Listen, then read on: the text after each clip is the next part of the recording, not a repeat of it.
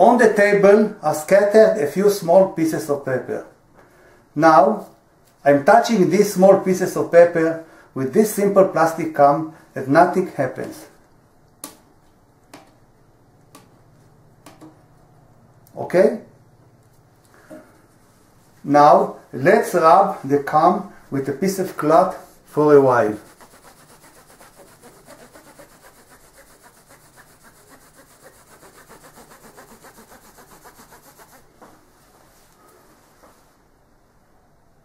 And let's see what happens.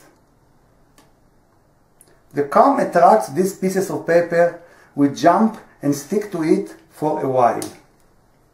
Somehow, the wrapped comb exerts a force on the pieces of paper and sets them into motion as the result of static electricity created by the rubbing effect.